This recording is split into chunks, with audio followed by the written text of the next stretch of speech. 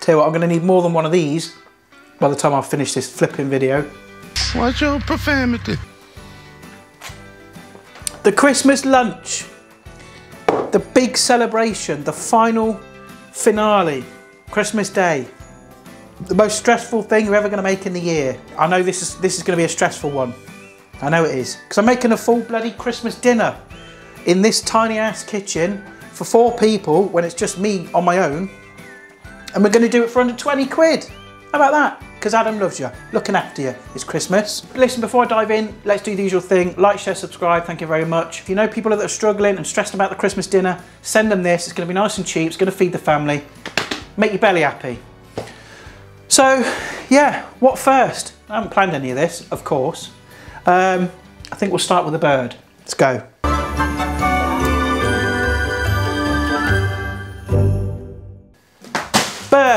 Now your eyes are not deceiving you. This is not a turkey. It is in fact a chicken. You might be thinking, why are you using a chicken on Christmas Day? Shouldn't it be a turkey? Well, yes, if you want a turkey. The problem is, is that I find turkey is a bit, well, it's a bit shit in my view but also it's the most expensive component of your Christmas dinner. Now, unless you've got like 12 people turning up at your house, you know, it's, it's a massive expense. And really when you think about it, a turkey is just a big fat dry old chicken, isn't it? Chicken is better, so that's what we're gonna do. If you've got a few more people coming round, you know, you've got like seven, eight people, grab another chicken, stick that in the oven. But this is gonna be enough for four or five people, no problem. But what we're gonna do is I'm gonna put this to one side because we're gonna make a compound butter to shove up its skin. Right, quick little compound butter then. Um, this is going to go underneath the skin. It's going to add flavour to the chicken and make it lovely because this is just a crappy bullshit shop bought chicken. Nothing special about it. And I'm going to add some butter to this bowl.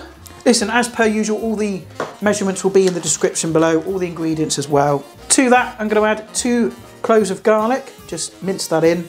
Then to that, I'm going to add some sage, It's Powerful stuff sage, so I'm going to go with about a teaspoon. If you haven't got any sage, you could use some tarragon, uh, you could use some rosemary if you want. Use whatever kind of dried herbs you've got kicking around in your cupboard. And then I'm going to add a bit of sweetness to this, so I'm going to add some cranberry sauce, which usually would have with your turkey. We're not having turkey, we're having chicken, so we're going to add some to the butter. It's going to give it a nice bit of sweetness. Three sort of teaspoons of that. And then literally just get your hands in there and sort of mix it up really into a nice smooth paste.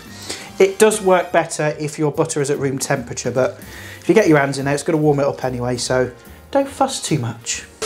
Right, so whilst you've been away, I've kind of done a bit of prep, as you can see. Um, going to be honest with you as well, uh, I'm a little bit pissed, if I'm honest with you. What, what happened was, was I went to work this morning, didn't really have much to eat. I had a bacon and sausage cob on the way to work. Then I worked all morning, Left work this afternoon, I thought, it's fine, doesn't matter. I'm going to go home, I'm going to have something to eat because I'm going to eat all this. And after that beer that you saw at the beginning, I thought, you know what, I'm getting a bit merry. Get a merry, get the festive spirit. I decided to pour myself a neat rum. and uh, yeah, I'm, I'm, feeling a bit sort of glowing. So, uh, so much so, I start to see my own face in the stuffing mix. Which incidentally, I've done. Look, make it to packet instructions, roll it into balls. If you don't know how to do that, well, I don't know what to tell you. I used Old Faithful, bit of Paxo, other brands are available. This was like one pound 70, 80 something. Um, you can get Lidl's own brand for like 43p, but well, they didn't have any. Got the carrots, we've got the parsnips. They, they're kind of been cut to sort of the same, well, roughly the same sort of size. So they're in cold water because that's going to stop them going brown. Now over here, Oh, sorry mugs. I've got a little trivet of veg. I've got some carrots, there's about three carrots in there.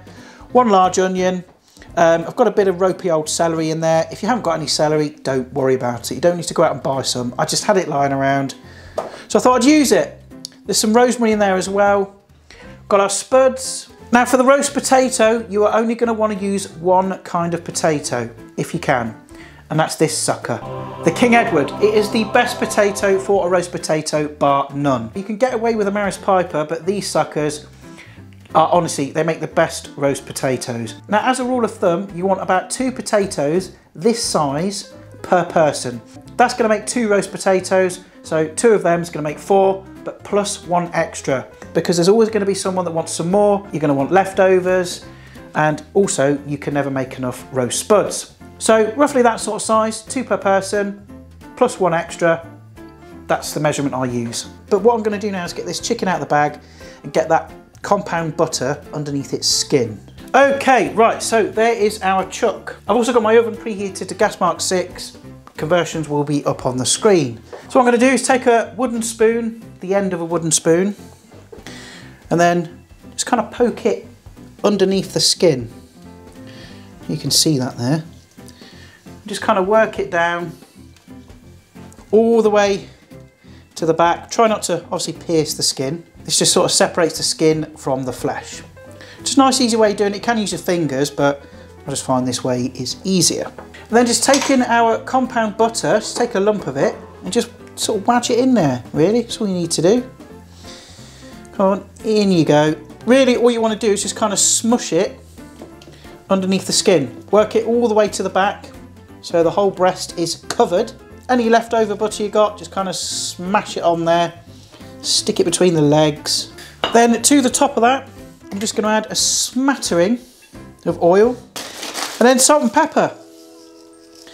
Um, plenty of it because we want that nice sort of golden crispy skin with that nice sort of saltiness. Pepper. And then to the roasting pan, I'm going to add some water.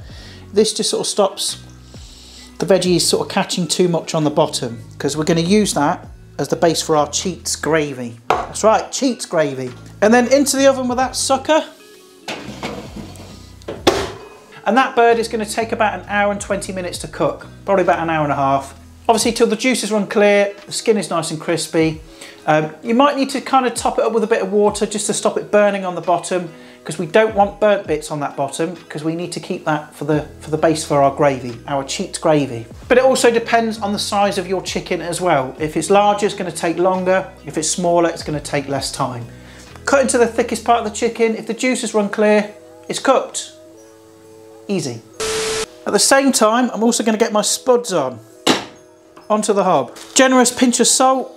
I'm also going to add the carrots and the parsnips as well because I need to blanch these ready for roasting later.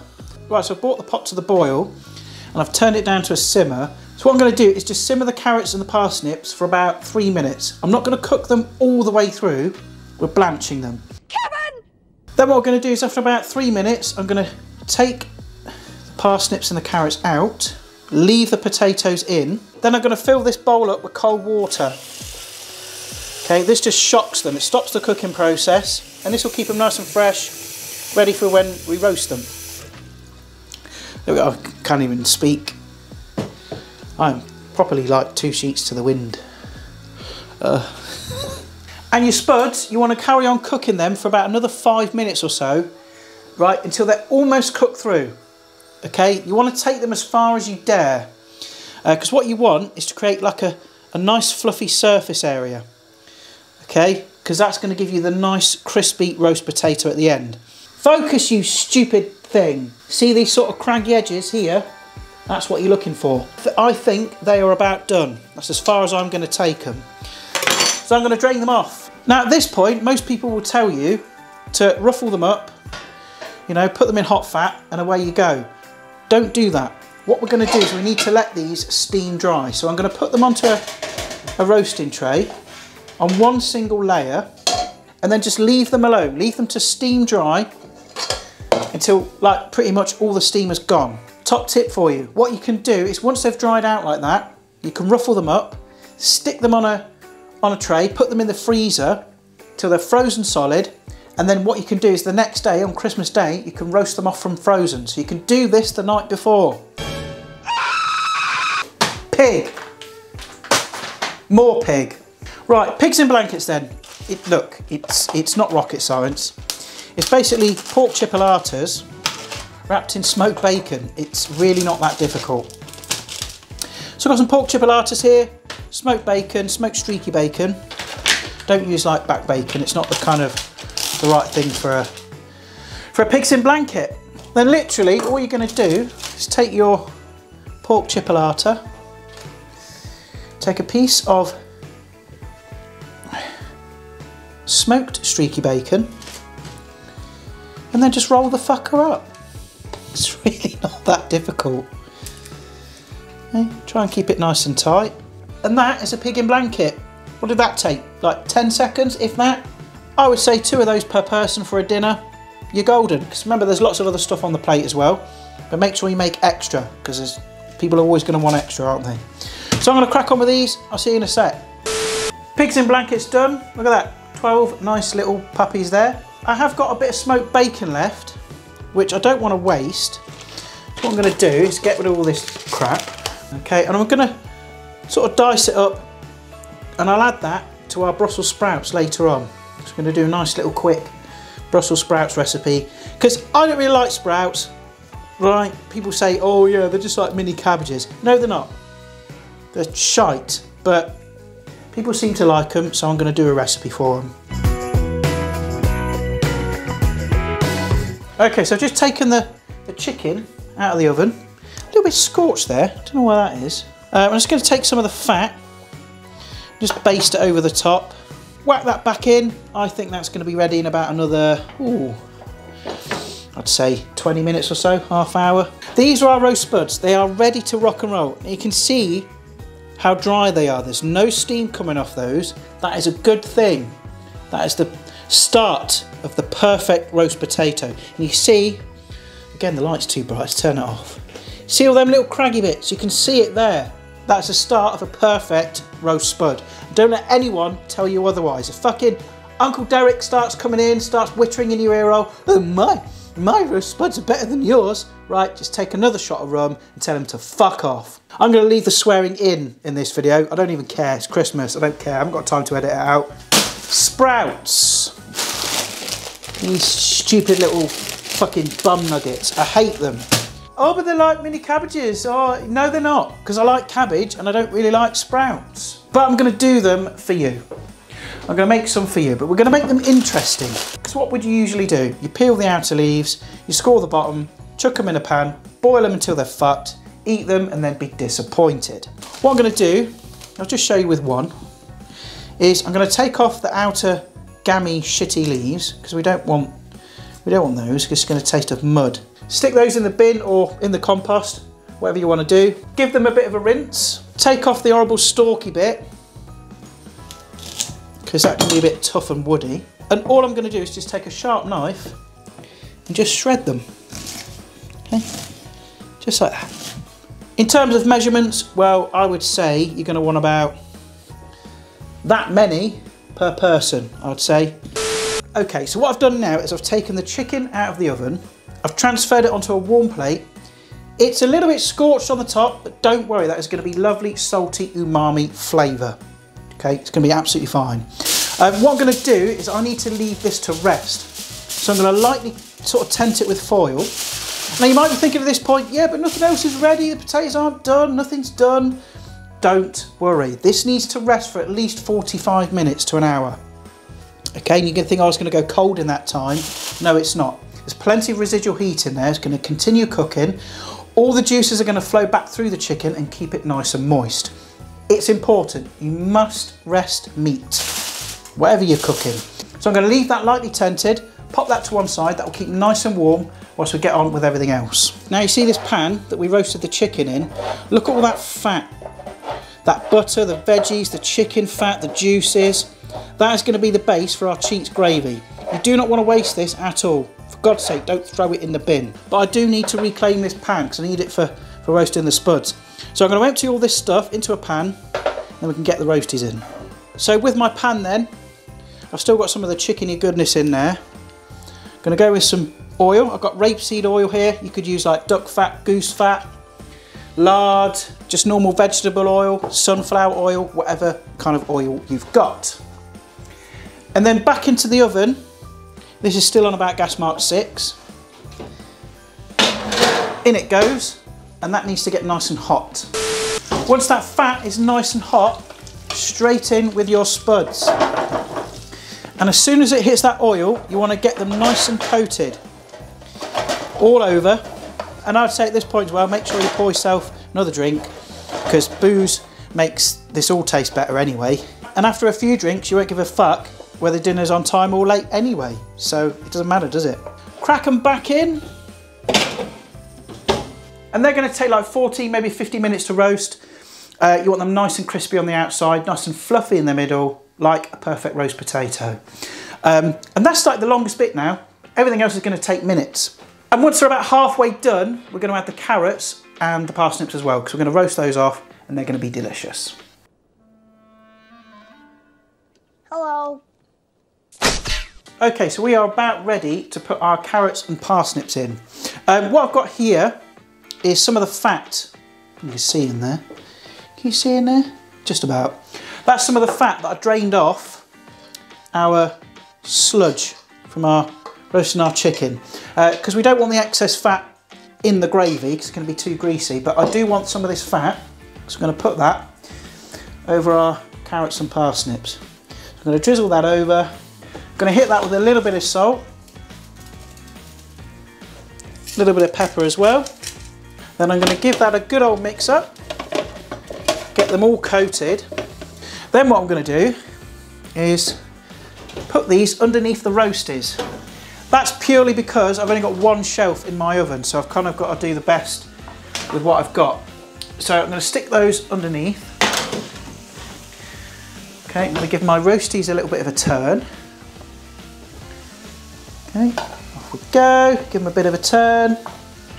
Then I'm going to slide these back on, just over the top, like that, and they'll continue cooking. And with the carrots and parsnips, they're going to take, oh, excuse me, about 20 minutes, oh, excuse me again.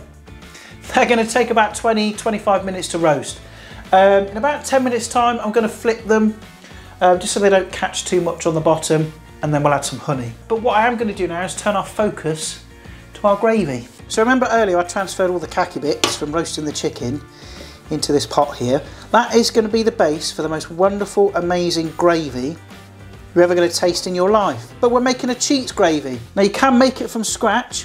I've got a make ahead gravy on the channel. I'll put a link to that uh, up on the screen somewhere and I'll also put it in the description below, which you can make that a few days in advance, stick it in the freezer, it's ready to go on the day. But if you want a quick cheats little version, this is your boy.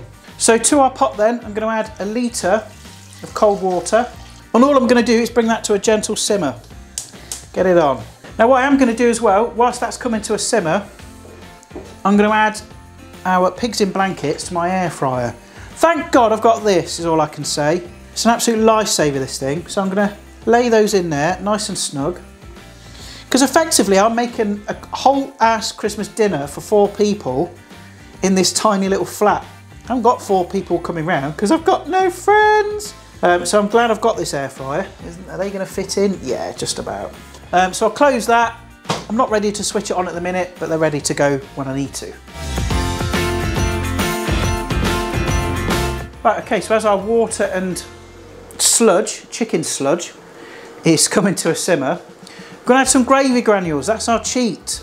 Don't be like precious about these. They're absolutely fine um, in a pinch. You know, it's instant gravy, but rather than just add like boiling water, we're adding it to our stock mixture, which is going to add lots of extra flavour. So just add enough in to get your gravy to your desired consistency. And again, I've got a make ahead gravy that uses chicken wings and lots of veg and bay leaf and all that kind of stuff, which is very, very nice. But if you haven't got the money, this is a great little cheats way to make a nice gravy.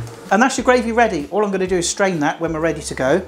Got my peas there. They're the last thing that you need to turn on. Peas do not take long to cook at all. Literally, you want to bring them to the boil, boil them rapidly for two minutes, switch them off, they're done. I've got the pigs in blankets starting to cook away there.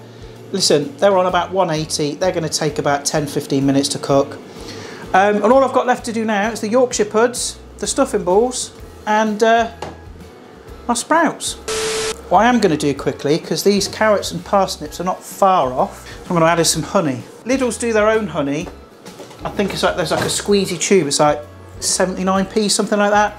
They'd run out, so I had to go to like Sainsbury's and get this more expensive stuff. I'm just going to drizzle that over the carrots and parsnips. I'm going to whack these back in. Give them about another 10 minutes or so. Right, our sprouts then. So got a frying pan here, get that onto a uh, medium sort of heat. And I'm gonna chuck in that bit of bacon that we had left over from earlier. A bit of smoked bacon. If you haven't got any of that left, don't worry, you can just leave it out. And I'm gonna start getting that bacon sort of nice and crispy. Okay, bacon's just starting to crisp up. I'm gonna go in with, ooh, knob of butter, and then in with our shredded sprouts. Now these aren't gonna take very long at all because they're nicely shredded. Coat them in that butter, that bacon fat. You want a little bit of colour, a little bit tinge on the sprouts. That's gonna enhance the flavour and make them super delicious. It's not gonna take very long at all, about five minutes, they're gonna be done. Look at them beauties. Look at that. There's my roasties. You, if you want them a bit darker, you can take them a bit further. That's no problem. These are just perfect for me. The carrots and parsnips are finishing off in the oven. I've also put my stuffing balls in. They're going to take about 10 to 15 minutes. But I just want to show you something. I want to prove a point. So remember our roast chicken from earlier that's been resting now for 45 minutes to an hour. And I don't know if you can pick it up on camera, but it's still steaming. It's still nice and warm. Okay, I'm just going to slice a bit off for you. I'm just kind of show you the importance of resting meat. Why it's so important. So I get a piece like that, look. You can see the juice is glistening off that. Now, our sprouts are done. I could have added a few more sprouts in there, but if you want more, add some more sprouts. But I'm just going to finish it off with a little squeeze of lemon. It's going to cut through the fattiness of that bacon and just give it a little extra zip, as it were. Right, peas are going to go on. They're not going to take very long at all. Pigs in blankets, they are also done. Whoop, want a bite? Fit. Um, I'm going to stick these underneath with the chicken, they'll keep nice and warm. Yorkshire puds. Again, don't be too precious about it. I'm using these sort of frozen ones. The reason I'm doing that is, yes, you can make your own batter. I've got a recipe on the channel that will show you how to do that but it means you're to have to buy eggs, flour and also milk. With these, you know, they're ready to go, they're going to save you a bit of money and they're good. And you've also got options. I think these are like the posh ones, they were like beef dripping ones. Uh, the six in there, they're about, uh, I think they're like £1.80 or £1.70 something. But the ones next to it were 50 pence. So it depends on your budget. If you want to make this cheaper, go for the 50p ones. You know, it, it doesn't matter. It's your dinner at the end of the day. You don't have to justify yourself to any fucker. Um, so I'm going to put these in the air fryer. They're going to take like five minutes to, to cook. Follow your packet instructions. Right, we are, we are pretty much there, folks. Oh, that needs to turn down a touch. Boiling over. Peas, they're like a, about 30 seconds away. Gravy's bubbling there. That needs to be drained. Pigs in blankets, chicken, stuffing balls, they're fucking done. Everything else up there, that's gonna keep warm, just like stick some tin foil over the top. Our parsnips and carrots are in the oven, they're like about 30 seconds away. So I'm just gonna kind of like turn everything off, get everything sorted, and yeah, fucking Christmas dinner, done.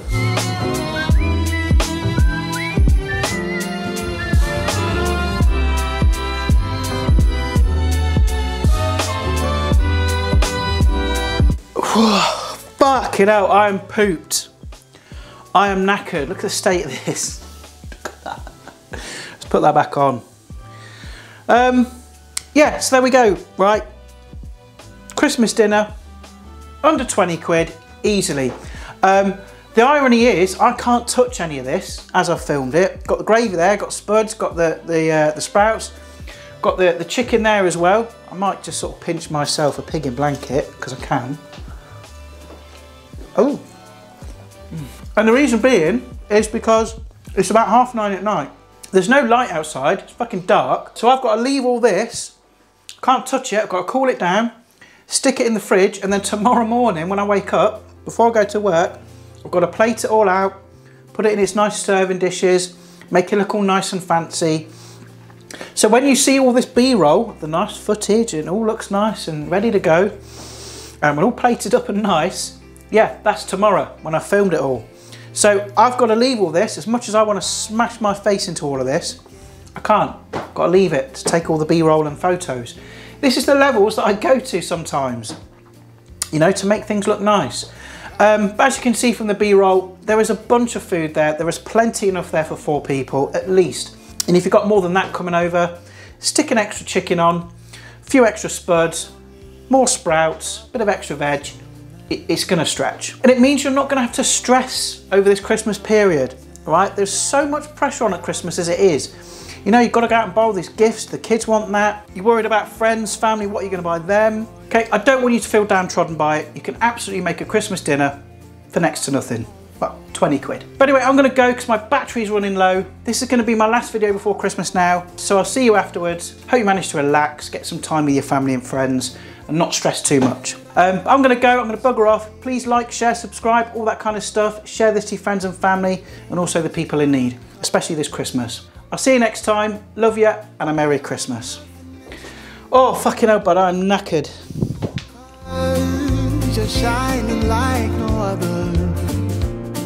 Ooh, I don't want what's wrapped in paper.